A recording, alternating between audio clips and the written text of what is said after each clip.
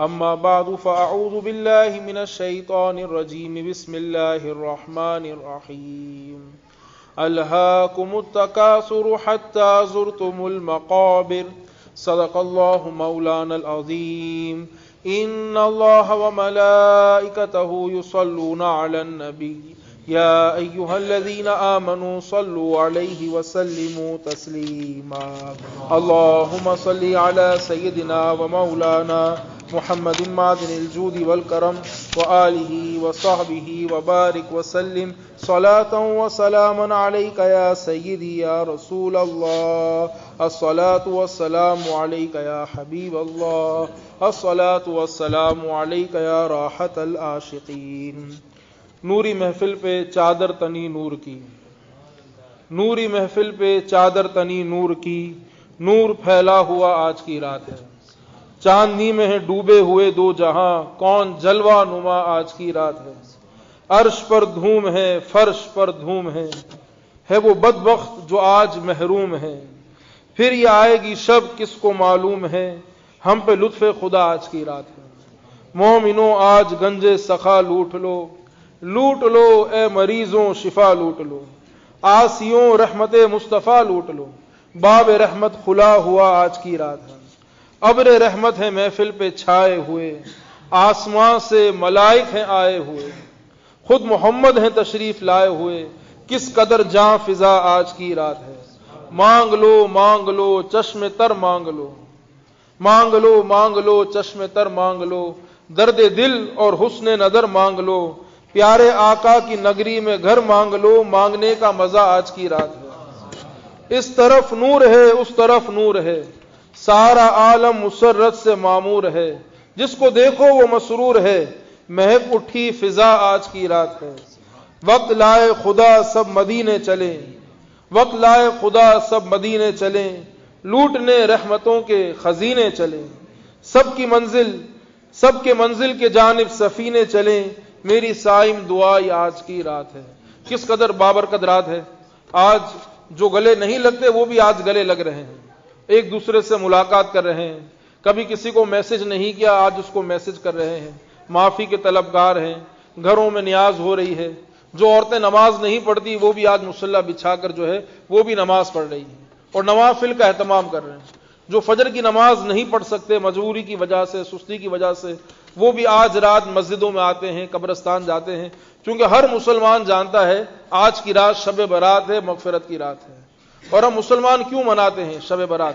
اس لیے مناتے ہیں کہ پیارے آقا علیہ السلاۃ السلام نے اس کا اہتمام فرمایا ہے۔ پیارے آقا علیہ السلاۃ السلام پندرہویں رات کو خود قبرستان تشریف لے جاتے تھے۔ تو پیارے آقا علیہ السلاۃ السلام کی سنت ہے۔ یوں تو ہر رات مغفرت کی رات ہے۔ لیکن ہم مسلمان شب برات اس لیے مناتے ہیں کہ پیارے آقا علیہ السلاۃ السلام نے اس کی فضیلت بیان فرمائی۔ اذا کانت لئی لت النصفی من شابان جب شابان کی پندرہویں رات آئے فکوم لہا اس کی رات میں جاگا کرو وہ سوم یوم اس کے دن میں روزہ رکھا کرو۔ تو یہ وہ رات ہے کہ جس کے جاگنے کا پیارے آقا علیہ السلاۃ السلام نے حکم دیا ہے۔ اب ہر رات تو ہم جاگ نہیں سکتے، تو اس رات کو، اس اپرچونٹی کو ہم کیوں ضائع کریں؟ تو آپ کے ذہن میں کبھی یہ وسوسہ نہ آئے کہ ہر رات بڑی رات ہوتی ہے، جس رات کی قدر کر لیں۔ اور یہ کیوں آپ بیٹھتے ہیں، جمع ہوتے ہیں؟ یہ ہر رات بڑی رات ہوتی ہے، لیکن یہ خوش نصیب ہوتے ہیں جو ہر رات جاگتے ہیں۔ اور ہر رات بڑی رات نہیں ہے، ہر دن بڑا دن نہیں ہے۔ ہمارے دین میں بے شمار کتابیں ہیں، لیکن قرآن تمام کتابوں کی سردار ہے۔ قرآن پاک میں بے شمار آیتیں ہیں۔ پورا قرآن فضیلت والا ہے، لیکن آیت الکرسی تمام آیتوں کی سردار ہے۔ اس طرح بے شمار راتیں ہیں سال میں، تین سو پینسٹھ راتیں ہیں یا تین سو ساٹھ راتیں ہیں، یا اس سے بھی کم ہے، چاند کا کم و بیش آگے پیچھے ہو، لیکن سب سے جو فضیلت والی رات ہے وہ شب قدر ہے۔ یا وہ رات ہے کہ جن کے صدقے ہمیں تمام راتیں ملی ہیں۔ شب برات ہے ان راتوں میں دعائیں قبول ہوتی ہیں۔ تو اللہ تعالیٰ کا کرم ہے کہ اللہ تعالیٰ نے ہمیں اس رات جمع فرمایا۔ پیارا آقا علیہ السلاۃ السلام کی حدیث سے پاک میں آتا ہے کہ پوری رات اللہ تعالیٰ کی رحمت آسمان دنیا سے فرشتے جو ہے محفلوں میں تشریف لاتے ہیں۔ علام ان مستقفرن ہے کوئی استغفار کرنے والا کہ اس کی توبہ قبول کر لی جائے۔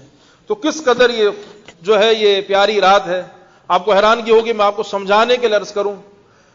دو سال اپنے کیریئر کے شروع میں ہمارے استادوں نے کہا، آپ جیل میں جا کے قیدیوں کو تربیت کریں۔ تو عالم دین بن کے مسجدوں میں ظاہر جگہ نہیں تھی لمیٹڈ جگہ تھی۔ دو سال میں نے جیل کے اندر جا کر اپنے گھر سے میں جاتا تھا۔ جمعے کے دن جیل کے اندر جا کے میں جمعے کی تقریر کرتا تھا۔ اور قیدیوں کو لیکچر دیتا تھا۔ اور شب برات میں ان کے یہاں بھی محفل ہوتی تھی۔ تو میں نے دیکھا کہ بڑے بڑے قاتل، بڑے بڑے جو کرپٹ قسم کے جن کو سزائیں تھیں اور جو اگلے ہفتے ان کو پھانسی کی سزا ہونی تھی شب برات کی رات میں سارے ہی جو ہے، چاہے جتنا بڑا ہی قاتل کیوں نہ ہو، جتنا بڑا ہی مجرم کیوں نہ ہو، شب برات کی رات میں سارے ہی دھارے مار مار کے روتے تھے۔ اور ایک سے ایک ان میں ہر ایک کی الگ داستان تھی۔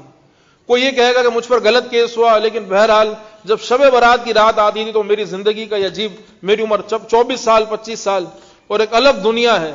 اذان دینے والا وہ بھی کسی کیس میں پھنسا ہے۔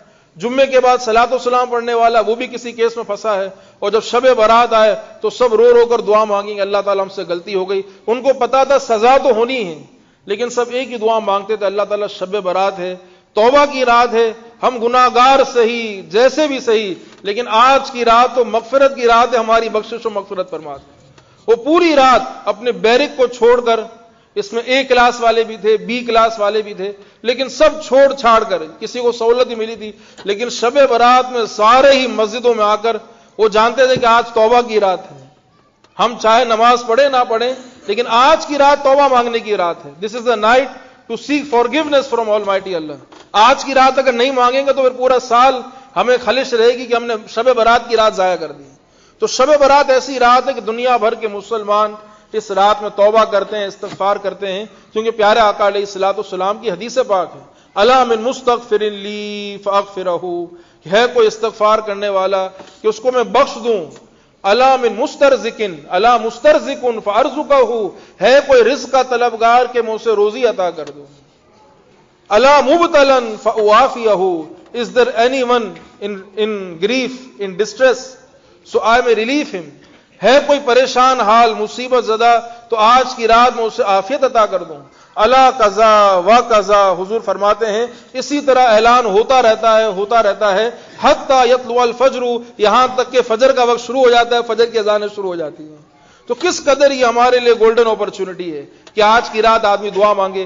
بزرگان دین فرماتے ہیں، ایک بزرگ نے اپنی کتاب میں لکھا، غالباً حضور سیدنا شیخ عبد القادر جیلانی رضی اللہ تعالیٰ عنہ نے فرمایا یا آپ کے کسی خلیفہ یا شاگرد نے اس بات کو غنیت الطالبین میں ذکر کیا کہ یہ رات جب آتی ہے، لوگ باتوں میں لگے ہوتے ہیں اور ان کو یہ نہیں پتا ہوتا کہ آج کی رات لکھا جا چکا ہے، اس سال اس کی موت واقع ہو جانی ہے۔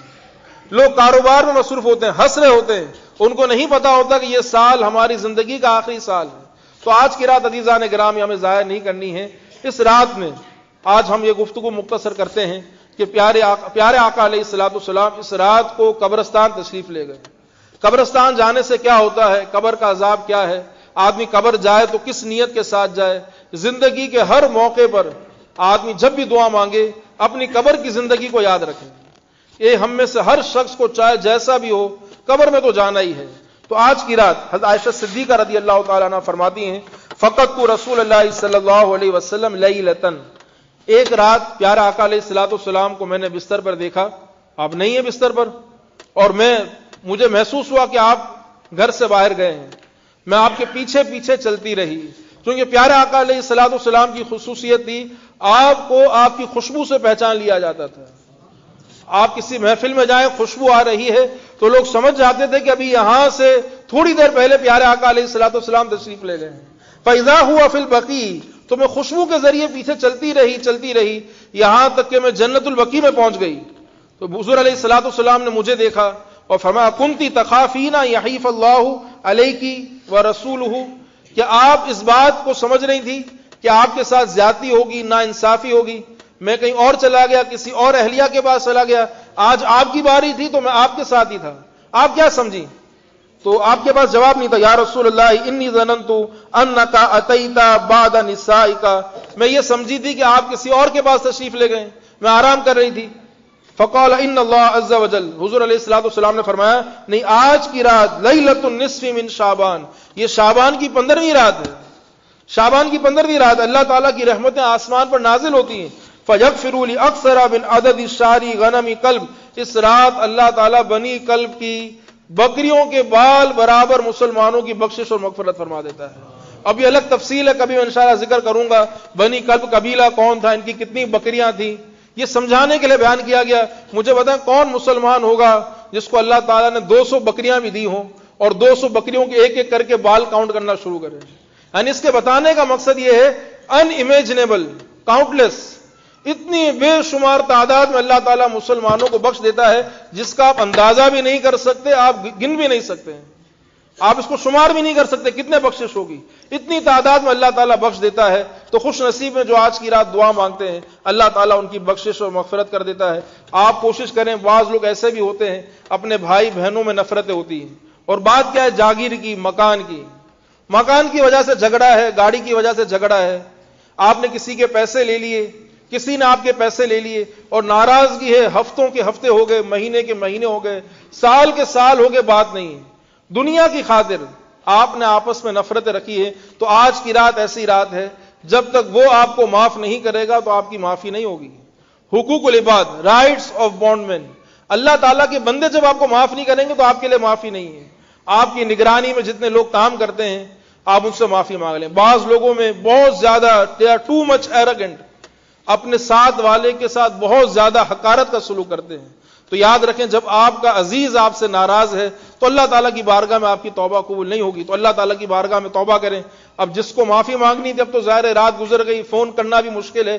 تو آدمی دل میں ارادہ کرے، اللہ تعالیٰ ان کے دل میں میرے لیے محبت ڈال دے۔ اور جب میری ملاقات ہو، میں ان سے معافی مانگوں تو یہ مجھے معاف کر دیں۔ بٹ آج کی رات بڑی گولڈن ہمارے لیے رات ہے۔ ایک حدیث پاک میں یوں آتا ہے کہ پیارے آقا علیہ السلاۃ السلام بی بی عائشہ صدیقہ رضی اللہ تعالیٰ عنہ فرماتی ہیں کہ حضور علیہ السلاۃ السلام گھر میں تشریف لائے، آپ نے اپنے نالین مبارک بستر شریف کے پاس رکھے، حضور علیہ السلاۃ السلام تھوڑی دیر لیٹ گئے اور تھوڑی دیر لیٹنے کے بعد، آرام کرنے کے بعد خاموشی سے پیارے آقا علیہ السلاۃ السلام اٹھے ہیں اور آپ تشریف لے کے جاتے ہیں۔ میں آپ کے پیچھے پیچھے جاتی ہوں، یہاں تک کہ حضور علیہ السلاۃ السلام جنت البقی قبرستان پہنچ جاتے ہیں۔ اور میں نے یہ دیکھا پیارے آقا علیہ السلاۃ السلام کافی دیر تک وہاں پر کھڑے رہے۔ کافی دیر تک کھڑے رہے۔ پتا یہ چلا کہ قبرستان جانا یہ پیارے آقا علیہ السلاۃ السلام کی سنت ہے۔ اور قبر والوں کو بھی ضرورت ہے۔ قبر والوں کو بھی ضرورت ہے کوئی آ کر ہمارے پاس آ کر دعا کرے۔ بی بی عائشہ صدیقہ فرماتی ہیں، حضور علیہ السلاۃ السلام کھڑے رہے۔ پھر پیارے آقا علیہ السلاۃ السلام نے دعا مانگی۔ اب میں نے یہ سمجھا کہ پیارے آقا علیہ السلاۃ السلام واپس آنے والے ہیں تو میں تیز تیز دوڑ کر گھر پر آنے لگی۔ اور میں پہلے آ کر پہلے پہنچ گئی۔ جب میں گھر پر آئی تو میری سانس چڑی ہوئی تھی۔ حضور علیہ السلاۃ السلام نے فرمایا، کیا بات ہے؟ آپ کی سانس پھولی ہوئی ہے۔ اور حضور نے میرے سینے پر ہاتھ مارا۔ کیا بات ہے؟ آپ کی سانس پھولی ہوئی ہے۔ کہا، نہیں، کوئی بات نہیں، کوئی ایسی بات نہیں۔ تو حضور علیہ السلاۃ والسلام جن کی نگاہیں آسمانوں پر ہیں، تو حضور سے کہاں چھپ سکتا تھا کہ حضور علیہ السلاۃ والسلام دعا مانگ رہے اور پیچھے عائشہ صدیقہ موجود ہے حضور فرماتے ہیں، تمہارے دلوں کے خیالات بھی مجھ پر پوشیدہ نہیں ہیں۔ تو حضور علیہ السلاۃ والسلام نے فرمایا، جب میں واپس آ رہا تھا تو میرے آگے تم ہی چل رہی تھی۔ جب میں واپس آ رہا تھا، میرے آگے تم ہی چل رہی تھی۔ تم کیا سمجھی کہ تمہارے ساتھ زیادتی ہوگی نا انصافی ہوگی؟ میں کہیں اور چلا جاؤں گا؟ میں میں تو لوگوں کو حقوق سکھانے آیا ہوں۔ تمہاری حق تلفی نہیں ہو سکتی۔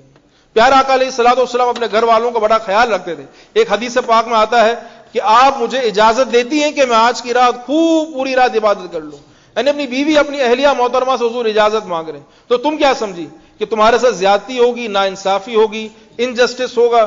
کہا، نہیں نہیں، ایسی بات تو نہیں ہے۔ حضور علیہ السلاۃ والسلام نے پھر فرمایا کہ آج کی رات پندرہویں رات ہے۔ جبریل امین میرے پاس آئے تھے۔ اور جب وہ میرے پاس آئے تھے، مجھے پتا تھا تم جاگ رہی تھی۔ انہوں نے مجھ سے کلام کیا، بات کی، لیکن ان کی آواز تم کو نہیں سنائی دی۔ اور جب میں نے جواب دیا تو میں نے جو بات کہی، میری آواز بھی تم کو نہیں سنائی دی۔ میری آواز یہ ہوتا ہے، ہماری محفلوں میں جنات بیٹھے ہوتے ہیں، جو بڑے بڑے صوفیہ مشائق ہوتے ہیں، وہ اشارہ کرتے ہیں، بات کر رہے ہوتے ہیں، وہ سمجھ بھی رہے ہوتے ہیں، جا بھی رہے ہوتے ہیں، ان سے بات چیت بھی ہو رہی ہوتی ہے۔ اب رجال الغیب ہوتے ہیں۔ تو حضور علیہ السلاۃ السلام نے فرمایا کہ ہم بات کر رہے تھے، ان کی آواز تمہیں نہیں آئی، میری آواز بھی تمہیں نہیں آئی۔ انہوں نے مجھے کہا، یا رسول اللہ صلی اللہ علیہ وسلم، آج شابان کی پندرہویں رات ہے، اہل بکی آپ کی دعاؤں کا انتظار کر رہے ہیں۔ بکی والے آپ کی دعاؤں کا انتظار کر رہے ہیں۔ حضور علیہ السلاۃ والسلام نے فرمایا کہ جبریل امین جب آئے تو ان کے کہنے پر میں بکی چلا گیا اور میں نے اپنے بھائیوں کے لیے دعا مانگی۔ تو حضور علیہ السلاۃ والسلام نے آج کی رات قبرستان جا کر دعا مانگی۔ عزیزان گرامی، میں عرض یہ کرنا چاہتا ہوں، پتہ یہ چلا قبرستان والوں کو دعاؤں کی ضرورت ہوتی ہے۔ چاہے کوئی کتنا ہی متقی پرہیزگار ہو، وہ یہ نہیں کہہ سکتا کہ مجھے کسی کی دعا کی ضرورت نہیں ہے۔ دعا کی ضرورت تو ہوتی ہے۔ پتا یہ چلا کہ وہ زندگی ایک زندگی ہے، ایک حقیقت ہے اس کی۔ لیکن آج کچھ لوگ ایسے ہیں، علمان الحفیظ ہر زمانے میں ایسے فتنے اور فرقے ہیں۔ اس زمانے میں بھی کچھ لوگ ایسے ہیں۔ وہ کہتے ہیں قبر کا عذاب نہیں ہوگا، آپ کو ڈرنے کی کوئی ضرورت نہیں ہے۔ یہ مولوی لوگ ہیں نا، ایسے ہی آپ کو ڈراتے رہتے ہیں کہ قبر کا عذاب ہوگا، قبر میں سانپ ہوں گے، قبر میں بچھو ہوں گے، قبر میں کیڑے مکوڑے ہوں گے۔ یہ مولویوں کو تو کام ہی ڈرانا ہے، مولوی ڈراتے رہتے ہیں۔ لوگوں کو یہ ماڈرن طبقہ ہے۔ وہ کہتا ہے کہ قبر میں کوئی عذاب نہیں ہے، ہو تو نظر آنا چاہیے۔ آپ قبر کھول کے دیکھیں، آج ایڈوانس دور ہے۔ آپ ٹیلیسکوپ، مائکروسکوپ تو ختم ہو گیا۔ ٹیلیسکوپ کا زمانہ ہے، لوگ مارس پر پہنچ گئے اور یہ مولانا کہتے ہیں قبر کے نیچے عذاب ہو رہے ہیں عذاب ہو تو نظر آنا چاہیے۔ تو عزیزان گرام یہ بات اب ذہن میں رکھے ہمارا عقیدہ ہے قبر کا عذاب برحق ہے، قبر کا عذاب ہو کے رہے۔ گا پیارے آقا علیہ السلاط والسلام کی احادیث کا خلاصہ ہے، ان عذاب القبری حق کن قبر کا عذاب سچ ہے، برحق ہے۔ اگر آپ کے دل میں وسوسہ ہو، قرآن میں کہاں پر ہے؟ یہ تو حدیثیں ہیں۔ بعض لوگ معاذ اللہ، حدیثوں کو بھی جھٹلاتے ہیں۔ وہ کہتے ہیں حدیث نے ڈیڑھ سو سال کے بعد، امام بخاری تو ڈیڑھ سو سال کے بعد پیدا ہوئے ہیں۔ دو سو سال کے بعد پیدا ہوئے ہیں۔ یہ لوگوں نے اپنی طرف سے حدیثیں بنا لی جب حدیث ہم پیش کریں تو کہتے ہیں حدیث من گڑت ہے معاذ اللہ۔ اب آئیے میں آپ کے سامنے قرآن پاک کی آیت پیش کرتا ہوں۔ اللہ رب العزت نے قرآن پاک میں ارشاد فرمایا، چوبیسواں پارا ہے انارو یو ردون علیہ گدو آشیا فرونیوں پر، جو فرون کے ماننے والے تھے، صبح شام ان کو آگ کا عذاب دیا جاتا ہے۔ انار یو ردون علیہ گدو آشیا فرون پر فرونیوں پر صبح شام آگ کا عذاب دیا جاتا ہے۔ مجھے بتائیں، جہنم میں تو سب بعد میں جائیں گے؟ جنت میں سب بعد میں جائیں گے؟ یہ قرآن پاک کی آیت ہے۔ یو ردون علیہ گدو آشیا فرونیوں پر صبح بھی عذاب ہوتا ہے، رات میں بھی عذاب ہوتا ہے۔ تو کون سا عذاب ہے؟ جہنم تو نہیں ہے۔ جہنم تو حساب و کتاب کے بعد ہوگی۔ تو مفسرین کرام نے فرمایا، اس سے واضح ہے، یہ قبر کا عذاب ہے جو صبح بھی ہوتا ہے، شام بھی ہوتا ہے۔ اس آیت کریمہ سے ثابت ہوا، قبر کا عذاب برحق ہے، ہو کے رہے گا۔ اسی طرح قرآن پاک میں انتیسویں پارے میں سورہ نو حضرت نو علیہ السلام کی نا فرمان قوم کے متعلق ذکر ہے۔ مما خطی آتی اگرکو وہ اپنے گناہوں کی وجہ سے اگرکو گرک کر دیے گئے۔ عذاب میں مبتلا کر دیے گئے۔ فعد خلو نارا۔ اب جیسے ہی مرے، عربی زبان میں فا کا مانا کنٹینیوٹی فورن جیسے ہی مرے فعد خلو نارا ان کی قبروں میں آگ داخل کر دی گئی۔ وہ آگ میں داخل کر دیے گئے۔ نارن کا مانا جہنم ہے۔ اب مجھے بتائیں، جہنم تو بہت دور ہے۔ کہاں نو علیہ السلام کا زمانہ اور کہاں جہنم کا ٹھکانہ؟ ہزاروں سال کا فاصلہ ہے۔ تو یہ فرمایا کہ جو گناہوں کی وجہ سے گرک کر دیے گئے، عذاب کا شکار ہو گئے فعد خلو نارا، ان کو آگ میں داخل کر دیا۔ یہ کون سی آگ ہے؟ مفسرین کرام فرماتے ہیں، قبر کی آگ ہے۔ پتا یہ چلا میرے محترم مسلمان بھائیوں، قبر کا عذاب تو ہو کے رہے گا، لیکن خوش نصیب ہوتے ہیں جو دنیا میں نیک اعمال کرتے ہیں، بعد مرنے کے اللہ تعالیٰ ان کی قبروں میں خوشبو پیدا فرما دیتا ہے۔ ان کی قبروں سے خوشبو کی لپٹیں نکلتی ہیں، ان کا کفن بھی چمکدار ہوتا ہے۔ کتنی ایسے یوٹیوب پہ کلپ موجود ہیں۔ کئی ایسے واقعات ہر دن، ہر مہینے ہوتے ہیں۔ کسی غریب علاقے میں، گاؤں دیہاتوں میں بارشیں ہوتی ہیں، قبر کھل جاتی ہے اور کوئی قبرستان سے گزرنے والا جب قبرستان سے گزر رہا ہوتا ہے، وہ کہتا ہے کہ روزانہ گزرتا ہوں، لیکن آج کیا بات ہے کہ قبرستان کے باہر سے خوشبو آ رہی ہے۔ تو خوشبو کو فالو کرتے کرتے وہ ٹھیک اسی قبر میں پہنچتا ہے، تو دیکھتا ہے کہ قبر کھلی ہے اور قبر سے خوشبو آ رہی ہے اور جس طرح تدفین ہوئی تھی کفن، اسی طرح صحیح اور سلامت۔ یہ اللہ تعالیٰ کے نیک بندوں کا یہ معاملہ ہوتا ہے۔ عدیزان گرام آئیے میں حدیث پاک آپ کی خدمت برس کرتا ہوں۔ بخاری شریف کی حدیث ہے، جس سے یہ واضح ہوگا کہ آدمی کو جب قبر میں جانا ہے تو عذاب تو ہے، اس سے کوئی چھٹکارا نہیں۔ انبنی عباس، حضرت عبداللہ ابن عباس فرماتے ہیں، مر نبی صلی اللہ علیہ وسلم المدینتی پیارے آقا علیہ السلاۃ والسلام، مدینہ شریف میں کہیں سے گزر رہے تھے۔ مدینہ شریف کے باغیچوں میں سے کہیں سے گزر رہے تھے۔ او مکہ تھا یا مکے سے گزر مکے کے کسی باغیچے میں سے گزر رہے تھے۔ فسمیا سوتا انسان انسان یو الزبانی فی قبوری پیارے آقا علیہ السلاۃ والسلام نے دو لوگوں کی آواز سنی کہ جن کی قبر میں عذاب ہو رہا تھا۔ ہمیں نہیں پتا چلا۔ حضور علیہ السلاۃ والسلام نے فرمایا کہ دو لوگوں کی مجھے آواز آ رہی ہے۔ ان کی قبر میں عذاب ہو رہا ہے۔ سبحان اللہ پیارے آقا علیہ السلاۃ والسلام کی سماعت کا اندازہ لگائیں۔ عذاب قبر کے اندر ہو رہا ہے۔ پیارے آقا علیہ السلاۃ والسلام کو اس کی آواز آ رہی ہے۔ دور و نزدیک کے سننے والے وہ کان۔ تو حضور علیہ السلام السلام فرماتے ہیں یو زبانی ان دونوں پر عذاب ہو رہا ہے، چیخ مار رہے ہیں۔ چیخیں لگا رہے ہیں. دے آر اسکریمنگ یہ چیخیں مار رہے ہیں. وما یو زبانی فی کبیر اور کوئی بہت بڑا گنا نہیں. کوئی بہت بڑا گنا نہیں، چھوٹا گنا ہے. تو حضور علیہ السلاۃ السلام نے کیسے فرمایا؟ کانا احد ہوما لا يستطير من بوله وكان الاخر يمشي بالنميمه ایک جو تھا پیشاب کی چھینٹوں سے نہیں بچتا تھا. ایک پیشاب کی چھینٹوں سے نہیں بچتا تھا اور دوسرا چگل خوریاں کیا کرتا تھا، لوگوں کی چگلیاں کیا کرتا تھا. پھر حضور علیہ السلاۃ السلام نے فرمایا دا بھی جرید دن، حضور نے ٹہنی منگوائی۔ فکسر رہا کس رتعینی حضور علیہ السلاۃ السلام نے اس کے دو ٹکڑے کیے۔ فودا اعلیٰ کلی قبری من ہما کس رتن حضور علیہ السلاۃ السلام نے ایک ایک قبر پہ دو ٹہنیاں رکھی۔ فقیل لو یا رسول اللہ، لما فعلتا حاضر اب غور سے سنیں، آج لگے آپ قبر پہ قبر پہ پھول کیوں ڈالتے ہیں؟ آپ قبر پہ دعا کیوں مانگتے ہیں؟ آپ مزار پہ کیوں جاتے ہیں؟ تو لوگوں کو پریشان بھائی آپ آج بندہ جس طریقے سے بھی اللہ کا نام لے، اللہ کا نام ہی لے رہے لما فالتا حاضا یا رسول اللہ آپ نے ایسا کیوں کیا؟ ٹہنی توڑ کر جو آپ قبر پہ ڈال رہے ہیں بسا حضور فرماتے ہیں، جب تک یہ تر رہیں گی، خشک نہیں ہوں گی، ان کے ذکر کرنے سے قبر والوں کو فائدہ ہوگا۔ آپ کو بات سمجھ نہیں آئی اس میں؟ توجہ نہیں آپ کی۔ اس میں بات غور کریں۔ اگر آدمی محبت کے کانوں سے اس کو سنے سبحان اللہ۔ حضور علیہ السلاۃ السلام فرماتے ہیں، لکڑی توڑی۔ لکڑی توڑنے کے بعد حضور نے قبر میں رکھی۔ جب تک ٹہنی ذکر کرتی رہے گی، قبر والے کو فائدہ ہوتا رہے گا۔ یہ بات بتانا مقصود نہیں ہے۔ یہ حضور کی آجزی ان کی ساری ہے۔ جو آپ کو نقطہ عرض کر رہا ہوں، یہ اہل محبت کی مجلس سے آپ کو بات سمجھ میں آئے گی۔ آپ مجھے بتائیں کہ ٹہنی کے ذکر کرنے سے قبر والے کو فائدہ ہو گیا؟ اے مسلمانوں کیا پیارے آقا، جس قبر پر آئے تو اس قبر پر کتنی نورانیت کا نزول ہو رہا ہوگا؟ آپ اس بات کو نہیں سمجھے؟ جس قبر والے کی قبر کی آواز کو پیارے آقا علیہ سلاۃ السلام نے سن لیا اور وہ اللہ کا محبوب جب انگلی سے اشارہ کرے تو چاند کے دو ٹکڑے ہو جائیں، جس کی انگلیوں سے پانی کے چشمے جاری ہو جائیں، تو مجھے بتائیں کیا اس نبی کو درخت کی ٹہنی قبر پہ رکھنے کی ضرورت ہے؟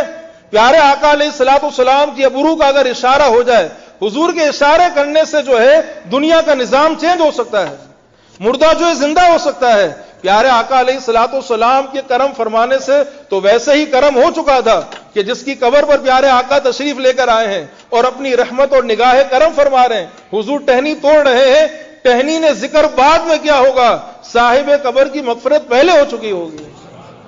کہنی نے ذکر بعد میں کیا ہوگا؟ وہ کتنا خوش نصیب ہے۔ جس کی قبر پر پیارے آقا علیہ السلاط والسلام کھڑے ہیں، یہ تو مجھے اور آپ کو سمجھانے کے لیے حضور بتا رہے ہیں۔ یہ آج بعد میں آنے والے گمراہ بے دین اور اتھیسٹ قسم کے لوگوں کو، جو دین بیزار لوگ ان کو سمجھانے کے لیے کہ دیکھو جب نبی جس ٹہنی کو رکھ دے، ٹہنی کے ذکر کرنے سے فائدہ ہو سکتا ہے، تو بعد میں دعا کرنے والوں کے لیے فائدہ کیوں نہیں ہو سکتا ہے؟ لوگ کہتے ہیں کہ آپ سوئم کیوں کرتے ہیں؟ چالیسواں کیوں کرتے ہیں؟ آپ عرس کرتے ہیں، برسی کرتے ہیں، دعائیں مانگتے ہیں، یہ کیوں کرتے ہیں؟ فاتحہ کیوں کرتے ہیں؟ اس کی ضرورت نہیں ہے۔ حضور نے یہ سبق دے دیا، جب ٹہنی کے رکھنے سے فائدہ ہو سکتا ہے تو مولوی عالم، پیر، فقیر، نمازی، بوڑھے، ان کے دعا کرنے سے فائدہ کیوں نہیں ہو سکتا ہے؟ جب ٹہنی ذکر کرے تو فائدہ ہو سکتا ہے۔ اندازہ کریں کہ ہمارے دین میں کتنا، کتنی کتنی محبت ہے کہ آپ جائیں ان کی قبر پہ۔ اب جب آپ فاتحہ خوانی کریں گے دروز شریف پڑھیں گے، ہمارے یہاں پاکستان میں بعض جہاں بہت زیادہ دینی ماحول ہے، آپ کو حیرانگی ہوگی، وہ قبرستان میں شب برات میں بیٹھ کے پورا قرآن ختم کرتے ہیں۔ یو کے میں، یو ایس اے میں بعض اب جگہیں ایسی ہیں لوگ دیکھ رہے ہیں کہ ہمارے بچے دین سے دور ہو گئے ہیں، تو پوری رات لوگ مسجد میں آتے ہیں اور تیس بچے سلیکٹ کرتے ہیں۔ ایک ایک بچہ، ایک ایک پارا پڑتا ہے، سارے لوگ سنتے ہیں یا قبرستان جاتے ہیں، پورا قصیدہ بردہ شریف کا ختم کرتے ہیں۔ دو تین گھنٹے قبرستان میں محفل کرتے ہیں، پھر مسجد میں آ کے پوری رات جاگتے ہیں۔ تو لوگوں کی محبت ہے، جو آدمی جتنا زیادہ محنت کرے۔ تو پیارے آقا علیہ السلاۃ السلام کا آپ دیکھیں، کیا شان ہے پیارے آقا علیہ السلاۃ السلام کی، جو نبی زمین کے اوپر کھڑا ہو کر زمین کے اندر ہونے والے عذاب کو ملاحظہ کر لے، اس نبی کی کیا شان ہوگی؟ اور حضور دعا فرمائے تو ان کی نجات نہیں ہوگی؟ پتہ یہ چلا کہ قبر میں عذاب تو برحق ہے۔ اور میرے میرے اور آپ کی کتنے گناہ ہیں؟ اگر آپ غور کریں، حضور نے فرمایا، وما یو فی کوئی بہت بڑے گناہ کی وجہ سے عذاب نہیں ہو رہا تھا۔ بس ایک تھا، پیشاب کے چھینٹوں سے نہیں بچتا تھا۔ ایک چگلی کر لیا کرتا تھا۔ مجھے پتا میرا اور آپ کا شمار ہم کہاں جائیں گے؟ آج آدمی کو بڑا فخر ہے اور بعض ہمارے بھائی ایسے ہوتے ہیں، کپڑا پہنے تو کپڑے کا بھی جو ہے وہ صحیح جو ہے رکو بھی سجدہ ہے رکو سجدے میں بھی اس کا جو ہے، اپنے کپڑے کا اس کو کلف اور کپڑے کا ڈیزائن، اس کو اس کا خیال رکھنا ہے۔ آدمی نمازوں کو قضا کر دے، پوری پوری رات جو ہے آدمی جا رہا ہے۔ ہمارے یہاں بعض لوگ ایسے ہیں کہ گھومنے جاتے ہیں، ان سے پوچھے نماز کہاں پڑی sorry Maulana I فارگوٹ to pray آپ بتائیں۔ نماز اس نے قضا کر دی ہے۔ آپ غور کریں، میرے محترم مسلمان بھائیوں، حضور فرماتے ہیں، بس پیشاب کے چھینٹوں سے نہیں بچتا تھا۔ پیشاب کے چھینٹوں سے نہ بچنے والے پر قبر پہ عذاب ہو رہا ہے، تو جو نماز قضا کرتا ہوگا، اس کو کتنا عذاب ہوگا؟ جو گالیاں دیتا ہوگا، اس پر کتنا عذاب ہوگا؟ بات بات میں میں آپ کو سمجھانے کے لیے کہوں، آپ کو بعد میں سمجھ میں آئے کہ وہ کمینوں مارو ہے۔ یعنی اس کی زبان میں دن میں سو دفعہ وہ گالیاں دے گا۔ ڈیل کرے گا، تو وڑو کمینوں مارو ہے، تو ایرو مارو ہے، تو ایرو مارو ہے۔ یعنی جب تک وہ زبان سے گالی نہ دے، اس کی بزنس ٹرانزیکشن پوری نہیں ہوگی۔ اب مجھے بتائیں، جس کی زبان پہ گالیاں ہو جس کی زبان پہ جھوٹ ہو، جس کی زبان میں دگا بازی ہو، جھوٹی قسمیں کھاتا ہو، ہم قسم کھایا تو انگری تو دکان شروع دی ابھی تو میں نے بسم اللہ کی ہے۔ ابھی تو کام شروع ہوا ہے، آپ کو میں جھوٹ کیوں بولوں گا؟ میں بالکل صاف ستھرا کام ہے۔ اب بتائیں، جس کا صبح بھی دھوکے سے ہو، شام بھی دھوکے سے ہو، ماں باپ کے سامنے آواز اٹھاتا ہو، ماں باپ کا دل دکھاتا ہو حرام کام وہ کرتا ہو اور کتنے ایسے حرام کام ہیں؟ ہم نام لیں گے تو کہیں گے، مولانا جو ہے نا ہمیں بتا رہے میں نام نہیں لیتا۔ ہر آدمی خود سمجھدار ہے۔ کسی مفتی کی ضرورت نہیں ہوتی۔ پیارا آقا علیہ السلاۃ السلام نے کتنی پیاری بات ارشاد فرما دی۔ ہر آدمی کا پردہ باقی رہے۔ حضور نے فرمایا اس تفتی قلبک there is a mufti in your heart sitting there there is a mufti in you sitting there you can ask him he will answer you am I right اور رانگ حضور فرماتے ہیں، آپ کے دل میں ایک مفتی ہے، اپنے دل سے پوچھیں آپ۔ آپ کا دل خود کہے گا کہ واقعی میں بہت غلط انسان ہوں۔ واقعی میں نے زندگی اللہ کی نافرمانی میں گزاری ہے۔ آپ غور کریں، حضور فرماتے ہیں، پیشاب کے چھینٹوں سے اس پر عذاب ہو رہا تھا۔ تو جس نے گناہ کیے ہوں گے، حرام کام کیے ہوں گے، اس پر کتنا عذاب ہوگا؟ دوسری حدیث سے پاک میں آتا ہے، پیارے آقا علیہ السلاۃ السلام فرماتے ہیں، ایتونی بھی جری دتئی میرے پاس دو لکڑیاں لے کر آؤ، دو شاخیں لے کر آؤ حضور کے پاس دو شاخیں لائی گئیں۔ فجعل احداهما عند راسه والآخر عند رجليه والآخر عند رجليه۔ حضور علیہ الصلوۃ والسلام نے ایک لکڑی سر پہ رکھی ہے، ایک لکڑی پاؤں پہ رکھی ہے۔ صحابہ نے پوچھا، کہ اس سے فائدہ ہوگا؟ ينفعه ذلك؟ اس سے فائدہ ہوگا؟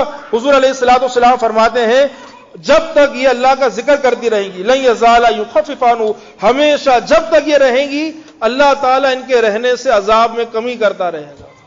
عذاب میں کمی ہوتی رہے گی۔ تو میرے محترم مسلمان بھائیوں، جب بھی آپ کو موقع ملے، آپ اندازہ کریں کیا شان ہے۔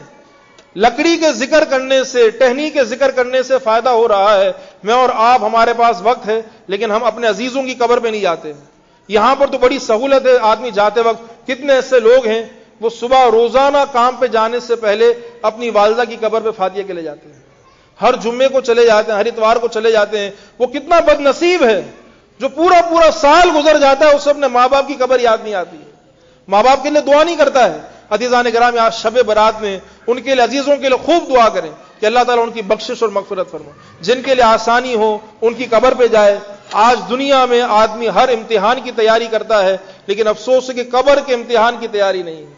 آدمی قبر میں سوالات ہوں گے، قبر کے سوالات کی تیاری کرے۔ کہ جب قبر میں مجھ سے سوالات ہوں گے، میں کیا جواب دوں گا؟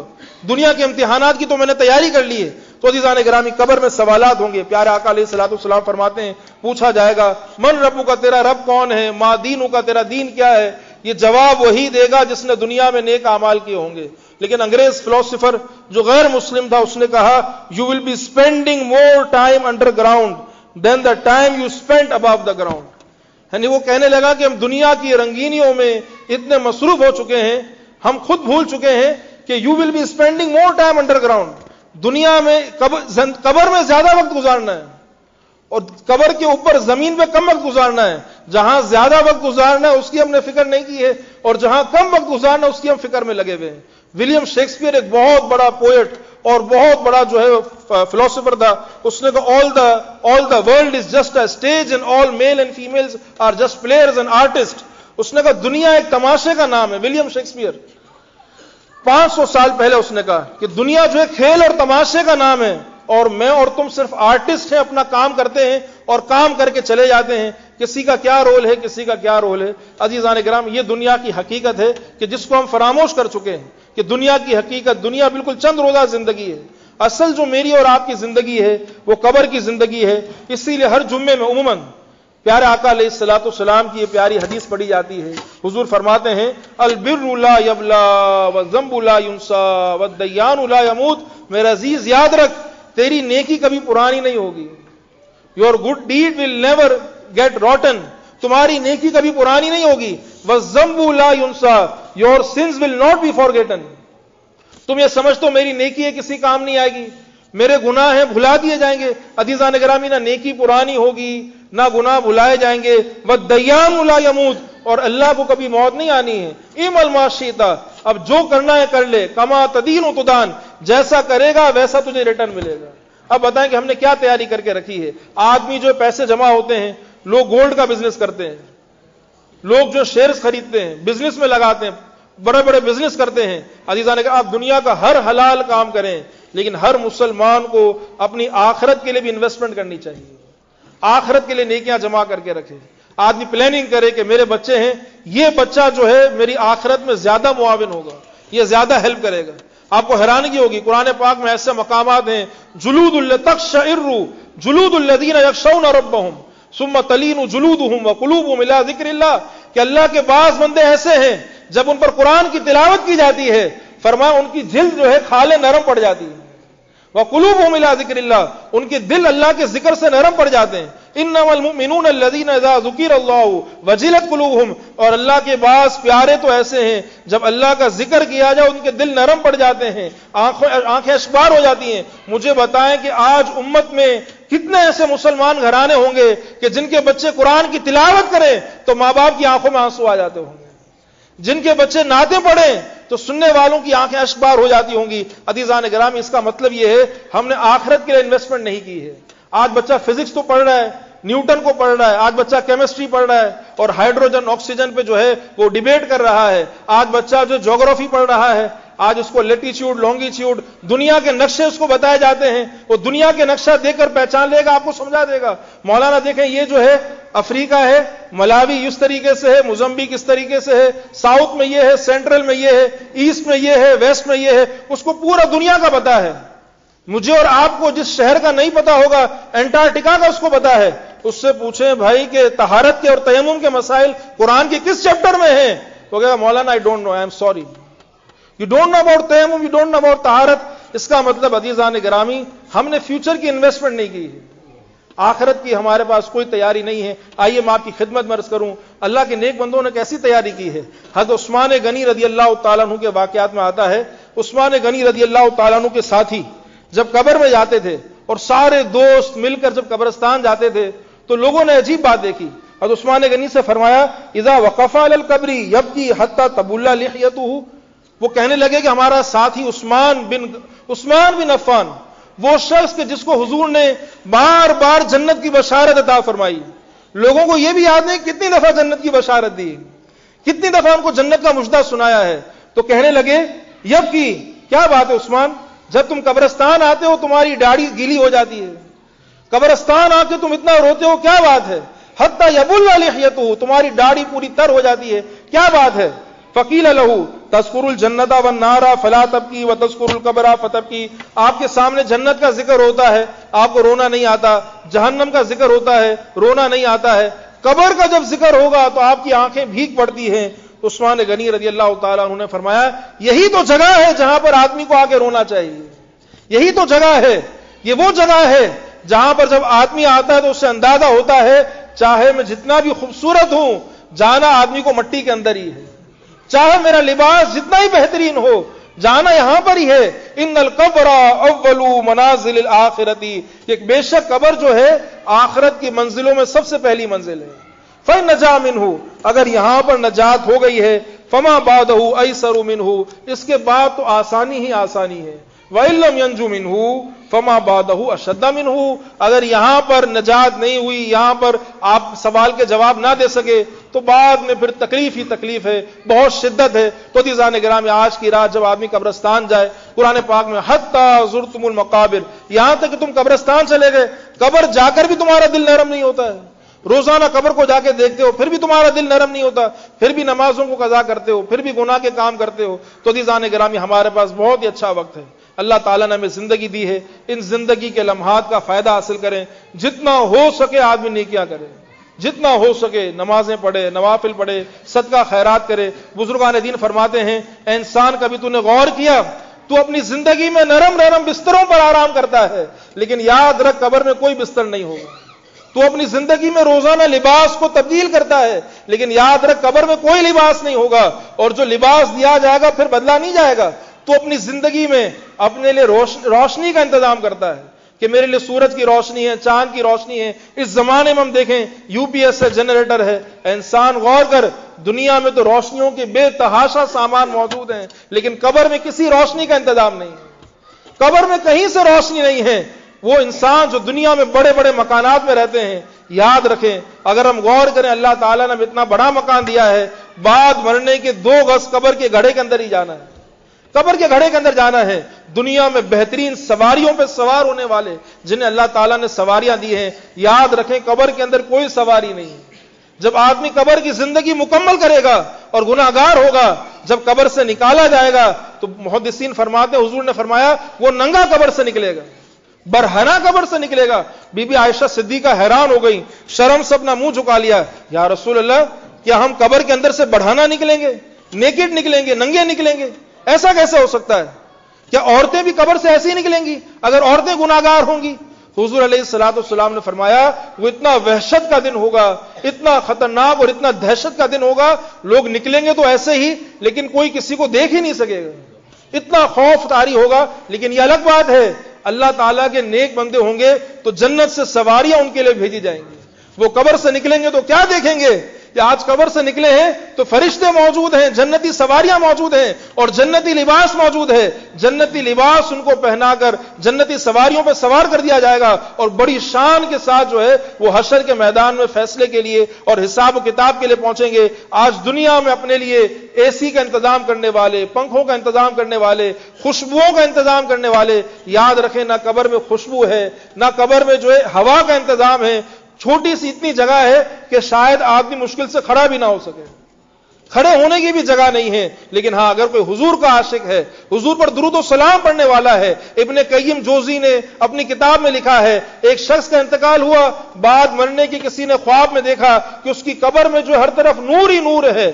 اور جب اس کی قبر پہ گیا تو قبر سے خوشبو آ رہی ہے اور وہاں پر جا کر اس نے پوچھا کہ کیا بات کیا آپ کی قبر سے خوشبو آ رہی ہے؟ تو بزرگان دین فرماتے ہیں کہ جواب تو نہیں آیا، لیکن جب رات کو سوئے تو صاحب قبر خواب میں آئے اور خواب میں آ کر کہا، تم پوچھتے ہو میری قبر سے خوشبو کیوں آتی ہے؟ میں زندگی بھر قرآن پاک کی تلاوت کیا کرتا تھا۔ زندگی بھر تلاوت کیا کرتا تھا اور روزے رکھا کرتا تھا۔ اللہ تعالیٰ نے تلاوت اور روزوں کی وجہ سے میری قبر میں خوشبو پیدا کر دی ہے اور خدا کی قسم قیامت تک میری قبر سے اسی طرح خوشبو آتی رہے گی۔ تو جو حضور کے غلام ہے عزیزان گرامی، زندگی جو ہے اللہ اور اس کے رسول صلی اللہ علیہ وسلم کی فرما برداری میں گزاری ہے۔ آج یہ ارادہ کرنے بڑی رات ہے۔ آدمی سچی توبہ کرے، اپنے اندر سے سستی ختم کرے۔ ہمارے بعض لوگ تین تین چار چار پاکستان انڈیا میں، یہاں کی بات میں نہیں کروں گا کسی کو برا نہیں لگے، پاکستان انڈیا میں دیگر جگہوں پر چار چار گھنٹے کرکٹ اسٹیڈیم میں بیٹھے ہوتے ہیں، فٹ بال گراؤنڈ میں بیٹھے ہوتے ہیں، چھ چھ گھنٹے۔ اور خاص کر پاکستان انڈیا کا کرکٹ میچ ہو تو میں شروع ہونے سے دو گھنٹے پہلے لانے لگی ہوئی عید کے دن سینما گھروں کے باہر لانے لگی ہیں اور انہی مسلمانوں کو جب ہم مسجد میں دیکھیں، Maulana you took five minutes more کیا بات ہو گئی؟ وہی جمعے کی تقریر میں آئے گا۔ مولانا، آج پانچ منٹ زیادہ ہو گئے۔ اب مولانا، اس کو کیا کہے؟ کل رات کو تو آپ کیسینوں کے باہر ایک گھنٹے کھڑے ہوئے تھے۔ جب آپ کو شرم نہیں آئی؟ آج دین کی بات ہو رہی ہے تو آپ کو شرم آ رہی ہے۔ آج دین نہیں سیکھیں گے تو آپ کی اولاد دیندار کیسے بنے گی؟ آپ کی نسلوں میں اولیاء کیسے پیدا ہوں گے؟ ولی کیسے پیدا ہوں گے؟ عزیزان گرام یہ غور طلب، آدمی کو غور کرنا چاہیے۔ آدمی غور کرے کہ میرا بچہ حافظ قرآن ہو۔ آج معاملہ یہ ہے، باپ نے بچے کو حافظ قرآن بنا دیا کہ وہ سمجھا کہ بھائی کہ یعنی مجھو تو نا جنت جو ٹکٹ پکو تھی۔ ہوئی تو مہر لگی ہوئی یاد رکھیں، ایسی بات نہیں ہے۔ حافظ قرآن ہو، حافظ بعمل ہو۔ اس کی نماز کوئی قضا نہ ہو۔ اس کو ماں باپ کا نافرمان نہ ہو، یہاں پر جو ہے اس نے جو ہے قرآن حفظ کر لیا۔ وہ جو ہے پھر رمضان ختم ہوئی۔ رمضان کے بعد وہی جو ہے حرام کام کر رہا ہے، حرام تماشا کر رہا ہے۔ وہی میوزک سن رہا ہے۔ آپ کے سینے میں قرآن ہے، آپ اللہ کی نافرمانی کر رہے ہیں۔ پھر ماں باپ ڈیمانڈ کرتے ہیں کہ ہمارا بچہ شبینہ پڑھا ہے ہمارا بچہ نوافل پڑھا ہے ہمارا بچہ لیکچر دے، ہمارا بچہ اسپیچ کرے، وہ کیسے اسپیچ کرے گا؟ آپ نے اس کو اخلاقیات نہیں سکھائے۔ حافظ بننے کے بعد جب آپ نے حافظ بنا دیا، آپ کا اگلا ٹارگیٹ ہوگا، اب اس کو قرآن سمجھانا ہے، اس کو اسپرچولیٹی کی طرف لے کر آنا ہے۔ یہ کیا بات ہے؟ اپنے آپ کو دھوکہ دیتے ہیں۔ بھائی چلو، عام آدمی داڑھی نہ رکھے، اس کی بات ہے۔ یہ کیا بات ہے؟ آپ مسجد کے مسلح کے ساتھ مذاق کر رہے ہیں۔ آپ نے کہا کہ میں بہت بڑا جو ہوں، وہ آدمی ہوں۔ تو آپ تو چاہتے ہیں کہ ترکی یہاں پر دنیا بھر میں جو ہے اسلام ترکی کی طرح ہو جائے، مصر کی طرح ہو جائے، کہ جو مولانا بھی ایسے آ جائیں کہ داڑھی محراب میں رکھی ہو، جب نماز کا وقت ہے داڑھی لگا لیں۔ پینٹ شرٹ سوٹ بوٹ میں ہو اور پھر سوٹ پہن لیں، چلو نماز کا وقت ہو گیا، نماز پڑھ لیں، اور پھر نماز ہو جائے، داڑھی نکال کے رکھ دیں کہ ہم دین کا ایسا مذاق اڑانا چاہتے ہیں۔ آج ماں باپ نے سمجھ لیا، بچے کو حافظ بنا دیا، اس کے بعد جو چاہے وہ کرے۔ اوپن ہینڈ اس کو دے دیا، جیسے ہی رجب کا مہینہ آئے گا اور جماعت الثانی کا مہینہ آئے گا، وہ چاہے چالیس سال کا آدمی ہو یا بیس سال کا نوجوان ہو اس نے داڑھی رکھ لی۔ سب کو پتا ہے، سارے نمازی بھی جو ہے کہتے چلو میں نماز آگے نماز ہی تو پڑھنی ہے وہ نماز پڑھ لی۔ یاد رکھیں، ایسی نماز نہیں ہوگی، واجب الیادہ ہے۔ آپ اپنی مسجد کے ساتھ مسلح کے ساتھ مذاق کر رہے ہیں، لیکن کیا کریں؟ دوسرا حافظ بھی نہیں ملتا ہے۔ اچھی آواز والا حافظ بھی نہیں ہے۔ اندازہ کریں کہ ہم نے آخرت کی بالکل تیاری نہیں ہمارے پاس۔ آخرت کی تیار شب برات بعض لوگ ہمارا مذاق اڑاتے ہیں۔ یہ لوگ قبرستان جاتے ہیں، شب برات کرتے ہیں، نوافل پڑھتے ہیں۔ اور یہ فرائض تو کرتے نہیں ہیں، نماز تو پڑھتے نہیں یہ کیا بات ہے؟ تو صحیح مذاق اڑاتے ہیں ہمارا۔ بولا، شب برات میں حلوہ کھاتے ہیں۔ نیاز کرتے ہیں، پوری رات جاگتے ہیں، روتے ہیں اور پھر نماز نہیں پڑھتے ہیں۔ تو ہم نے خود کسی کو انگلی اٹھانے کا موقع دیا ہے۔ آپ ایسا کردار کر لیں کہ جو آپ کو دیکھے، وہ کہے کہ غلام ایسا ہے تو آقا کیسے ہوں گے؟ یہ مرید ایسا ہے تو اس کے پیر و مرشد کیسے ہوں گے؟ آپ کس کے مرید ہیں بھائی؟ آپ کس کے شاگرد ہیں؟ آپ کا بچہ کس کا شاگرد ہے؟ کس کا مرید ہے؟ یہ آپ کی تربیت کس نے کی ہے؟ یہ کہاں تربیت ہو رہی ہے آپ کی؟ یہ کریکٹر کس نے سکھایا آپ کو؟ وہ کہے گا کہ فلاں مرشد ہیں، فلاں پیر ہیں، فلاں استاد ہیں، فلاں امام ہیں، کہا کہ ہمیں بھی ان کے دامن سے وابستہ کر دو۔ انشاءاللہ جو حضور کا غلام ہے، زندگی بھر اس نے حضور کی وفاداری میں گزاری ہے۔ تو کسی نے کیا خوب کہا، قبر میں سرکار آئے تو میں یوں کہوں اور فرشتے بھی اٹھائیں تو میں ان سے یہ کہوں، اب تو پائے ناس سے، اے فرشتوں کیوں ہٹوں؟ مر کے پہنچا ہوں یہاں اس دل ربا کے واسطے۔ قبر میں اگر فرشتے آئیں گے تو میں کہوں گا سرکار موجود ہے، اب ان کے قدموں کو پکڑ لیا ہے، یہاں سے ہٹنا نہیں ہے۔ مر کے پہنچا ہوں، یہاں اس دل ربا کے واسطے۔ میں تو آیا ہی نہیں کے لیے ہوں، زندگی نہیں کے لیے گزاری ہے۔ اسی لیے اعلیٰ حضرت امام اہل سنت دعا مانگتے تھے، جو ہم نے دعا سنی ہے، یا الہی گور تیرا کی جب آئے سخت راہ اتنا بڑا امام ہے، ایک ہزار کتابوں سے زیادہ اس نے لکھی ہیں۔ کون سا علم ہو جو اس کو نہ آتا ہو؟ اور وہ بیٹھے بیٹھے ایک دفعہ نماز لمبی ہو گئی۔ فجر کی نماز لمبی ہو گئی اور اس زمانے میں گھڑیاں تو ہوتی نہیں تھیں۔ اعلیٰ حضرت امام اہل سنت نے فجر کی نماز، دیکھیں ہم دس منٹ کی کرتے ہیں۔ اعلیٰ حضرت امام اہل سنت نے شاید چودہ منٹ کی پڑھا دی ہوگی، پندرہ منٹ کی پڑھا دی ہوگی۔ پڑھا دی تو لوگوں نے کہا، مولانا نماز لمبی ہو گئی۔ فجر کا وقت ختم ہو گیا۔ تو اعلیٰ حضرت امام اہل سنت نے ایکوریٹ ٹائم بتایا۔ وہ میں آپ کو عرض کرتا ہوں ایکوریٹ تو مجھے نہیں پتا کہ ابھی بھی دو منٹ سترہ سیکنڈ باقی ہے آسمان دیکھ کر بندہ بتا دے کتنا ٹائم باقی ہے۔ ابھی بھی دو منٹ سترہ سیکنڈ باقی ہیں، پریشان نہ ہو۔ احمد رضا جب تک ہے تو آپ کو کسی مسئلے میں فکر کرنے کی ضرورت نہیں ہے۔ لیکن وہی احمد رضا اللہ کی بارگاہ میں قبر کے لیے کیا دعا مانگتے ہیں؟ یا الہی، گور تیرا کی جب آئے سخت رات، ان کے پیارے منہ کی صبح جا فضا کا ساتھ ہو۔ اہل احمد رضا کے دامن میں کوئی نیکی نہیں ہے۔ اس کو پتا ہے کہ قبر کی رات جو اندھیری ہوگی۔ دیر ول بی ڈارکنیس ان دا گریو گورے تیرا قبر اندھیری ہوگی. جب قبر کی سخت رات آئے، ان کے پیارے منہ کی صبح جا فضا کا ساتھ ہو. جس طرح دنیا میں میں ان کا دیدار کیا کرتا تھا، کاش قبر میں بھی اسی طرح ان کا دیدار ہوتا رہے. پھر ایک مقام پر جو ان کی دعا ہے، اس پر میں گفتگو ختم کرتا ہوں. پھر انشاءاللہ ذکر ہوگا اور سب مل کر دعا کریں گے. اعلیٰ امام علیہ سنت نے دعا سکھائی ہے. آپ فرماتے ہیں، دنیا میں ہر آفت سے بچانا مولا. دنیا میں ہر آفت سے بچانا مولا.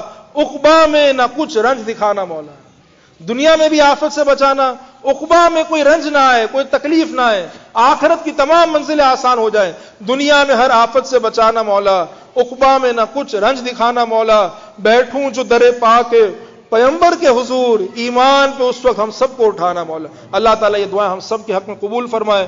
اللہ تعالیٰ ہم سب کو سچا مسلمان، بار بار جو ہے شب برات ہمیں نصیب فرمائے۔ بار بار ہم خوب اللہ تعالیٰ کی بارگاہ میں دعا مانگے۔ ہو سکتا ہے ہماری زندگی کا آخری سال ہو۔ اللہ تعالیٰ ہماری بخشش و مغفرت فرمائے، ہمارے والدین کی بخشش و مغفرت فرمائے اور ہم سب کی جو نیک ارادے ہیں، اللہ تعالیٰ اس کو قبول فرمائے۔ میں یہ چاہتا ہوں اپنے بچوں کو آپ جو ہے نمازی بنائیں۔